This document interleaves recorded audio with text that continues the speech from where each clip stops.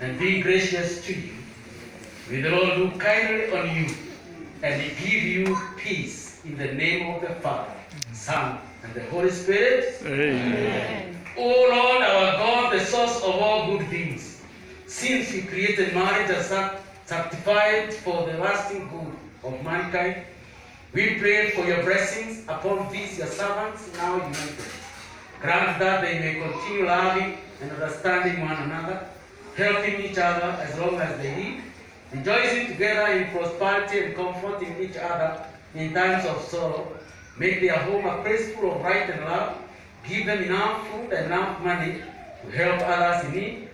More than anything, merciful Lord, make them rich in spirit, that they may seek to serve and obey you in all aspects of their lives. Give them strength to follow your Son, Jesus Christ. Grant them children and grace to deny themselves for the sake of bringing their family up in wisdom, good lives, and the knowledge of their Creator. May the Holy Spirit stay with them as their guide. And finally, O God, when their work is finished, welcome them to the heavenly kingdom. We ask all this for the sake of Jesus Christ our Lord, and we all say, Amen.